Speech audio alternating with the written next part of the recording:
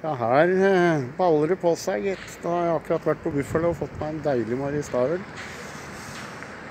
Ser nesten ut som jeg er på vei til kjerka, men det er jeg ikke. Det er domkjerke, forresten. Uten domprest. Den eneste i Sverige som ikke er domprest. Ja, minst ikke hvorfor, men jeg kan kalle deg opp det om de vil. Men her kommer det folk, da. Ja da. Så nå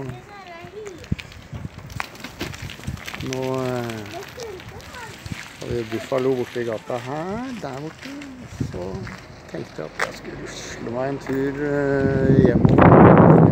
Da rusler vi litt.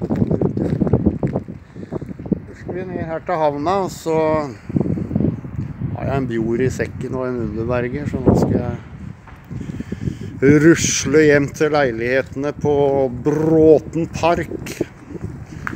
Så da blir det bra, veit du. Jeg er nesten kjørt ned her, da. Komme meg inn på fortauet. Så jeg holdt på å si ha en fantastisk helg, folkens, men det er jo ikke. Det er det for meg i dag. Det er, det er bare onsdag, men jeg har fri til og med søndag, så det, det er digg. Fy faen, nå, nå har jeg gått på en kjempesmell her, forresten. Jeg skulle jo syns det er litt harry å gå rundt med en Berger-cap sånn eh, offentlig. Så har faen meg kjøtthue glemt å ta med seg. Jeg skulle jo ha på meg eh, en litt nøytral cap. Ja, ja. ja.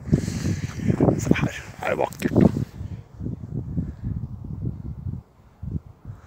Gamla stan. Å ja, elsker det. Nei, men dette blir jo bare svada. En liten hilsen til Torsjø. Skulle ønske du var her. Hei då.